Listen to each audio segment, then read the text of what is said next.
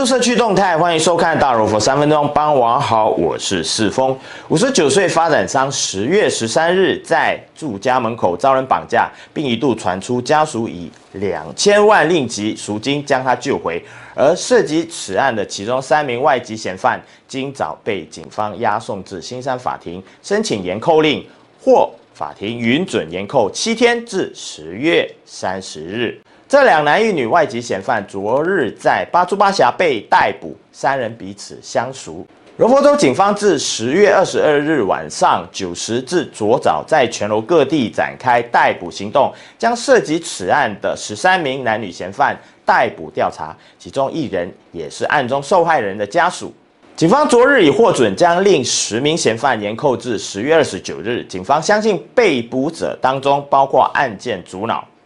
换个焦点，巴罗新火车站已经正式启用。昨天傍晚，分别迎来首两班北上及南下的列车。这是居銮线在双轨铁道计划下所启用的第一个全新火车站。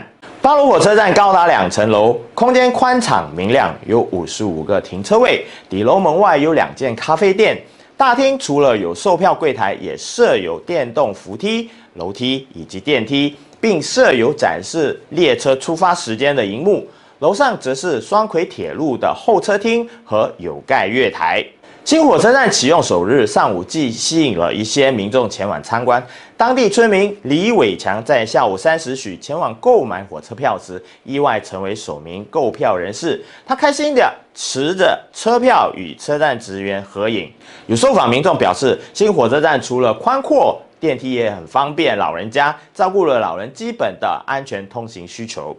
最后，联邦大道加拉巴沙威路段的提升工程自数个月前竣工后，新村交通灯处就不时发生车祸，民众促请当局尽速改善，不要等到严重意外发生才来处理。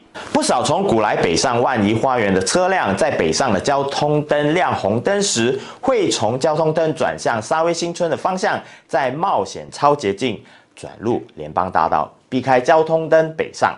此外，也有部分从新村驶出，打算从联邦大道北上的车辆，不愿在交通灯前等候，直接超越排在前端的两三辆车子，拐弯进入联邦大道。沙威村委会曾多次致函当局，要求提升道路，只是不明白当局为何至今还是没行动。五吉巴都州议员张善生表示，他已就沙威的交通问题致函市议会，并在今年六月间。与市议会官员一同前往实地视察他的服务中心，以要求市议会尽快行动，以避免车祸不断发生。感谢您的收看，更多社区动态，请继续留意《新洲日报》、新洲网。